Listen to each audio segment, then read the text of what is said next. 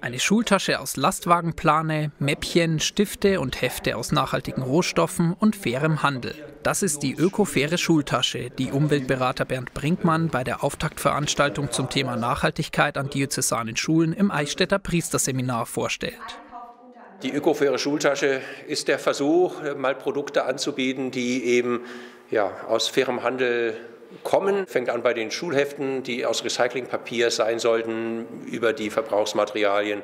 Äh, in der Schultasche haben wir jetzt beispielhaft äh, Stifte, haben wir Radiergummis aus Naturkautschuk, äh, haben wir verschiedene lineale Trinkflasche aus Recyclingmaterial.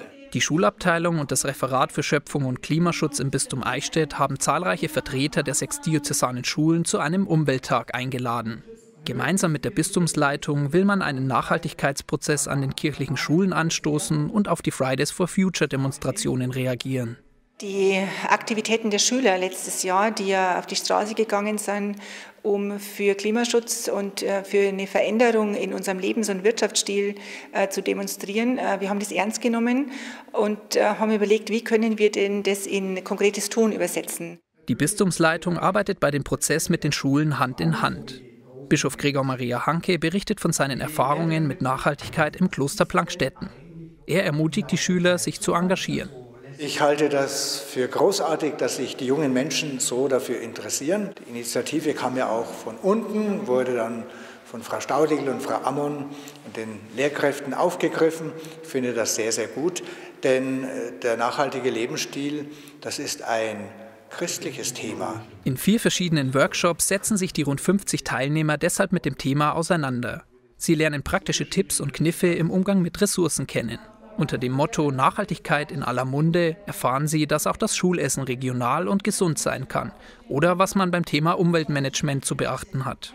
Die Schüler und Vertreter nehmen viele Anregungen für ihre Schulen mit. Das fand ich gut, dass man dann nach seinen Interessen schauen kann ähm, und sich auch von den anderen Schulen Inspiration nehmen konnte.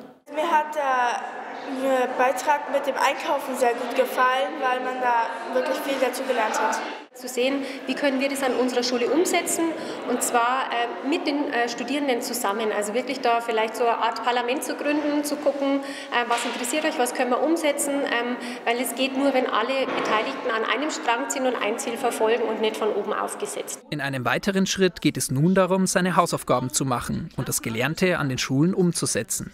Ziel ist es, Fridays for Future von der Straße zurück in die Schulen zu holen.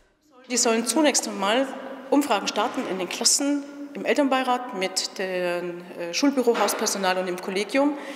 Ende des Schuljahres im Juli wird der Rücklauf dann ankommen und wir werden in der diözesanen Schulleiterkonferenz uns die Rückläufe anschauen und dann differenzieren und schauen, welchen Weg gehen wir gemeinsam fürs nächste Schuljahr, welche Wege geht jede Schule allein und in Zusammenarbeit mit dem Referat Klimaschutz und Schöpfung hoffe ich, dass wir dann Jahr für Jahr unsere Ziele und äh, Etappen neu definieren.